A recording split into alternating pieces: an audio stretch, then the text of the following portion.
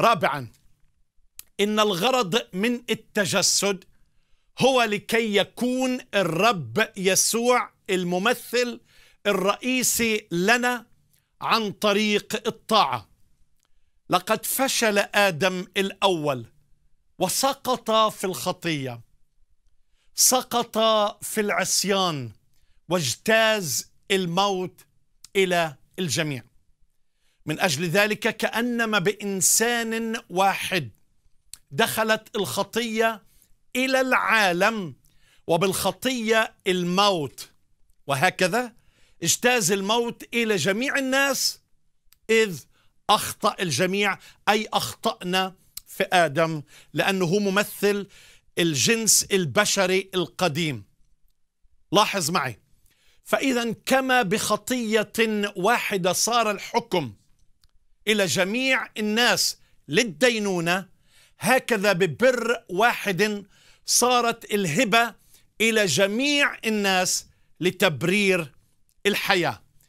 لأنه كما بمعصية الإنسان الواحد جعل الكثيرون خطاه هكذا أيضا بإطاعة الواحد سيجعل الكثيرون ابرارا. لأنه كما في آدم يموت الجميع. هكذا في المسيح سيحيا الجميع. لكن آدم الأخير الإنسان الثاني نجح ولم يسقط في التجربة وأصبحنا فيه أي في المسيح. هكذا مكتوب أيضا. صار آدم الإنسان الأول نفسا حية. وآدم الأخير روحا محييا.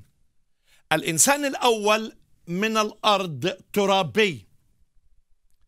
الإنسان الثاني الرب من السماء.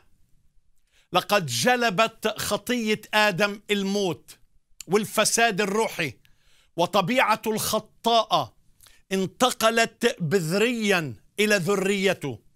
كما عبر النبي داود ها أنا ذا بالإثم صورت وبالخطيئة حبلت بي أمي لقد دخل الموت الروحي أي الانفصال عن الله والموت الجسدي أيضا. وكما وضع للناس أن يموتوا مرة ثم بعد ذلك الدينونة والموت الأبدي أي الموت الثاني أي الانفصال عن الله وأيضا العذاب الأبدي في بحيرة النار. مكتوب وطرح الموت والهاوية في بحيرة النار هذا هو الموت الثاني. وكل من لم يوجد مكتوبا في سفر الحياة طرح في بحيرة النار. لقد جلب آدم الأول الدينونة. أما يسوع آدم الثاني أو الأخير جلب الفداء والحياة الأبدية.